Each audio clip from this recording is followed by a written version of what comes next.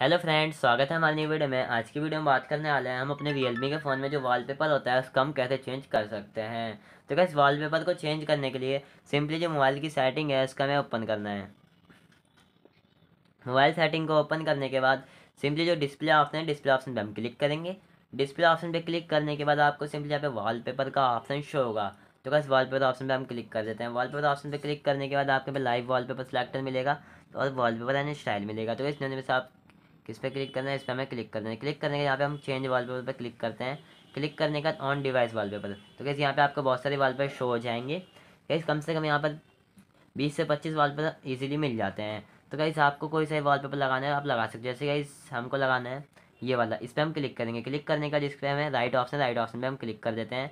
Click करने का home and lock screen पर हमें क्लिक करना है। क्लिक करने जो हमारा वॉलपेपर है सिंपली चेंज हो जाता है। तो क्या देखिए मेरा वॉलपेपर चेंज हो जाएगा। गाइस इस तरीके से अपने वॉलपेपर को चेंज कर सकते हैं अपने रियलमी के फ़ोन में। तो गाइस आई होप कि आपको हमारा वीडियो पसंद आया तो वीडियो को लाइक चैनल को सब्सक्राइब और बेल आइकन को दबाना ना भूलना और गाइस मिलते हैं अगली वीडियो में, तब तक के लिए बहुत बहुत धन्यवाद। Thank you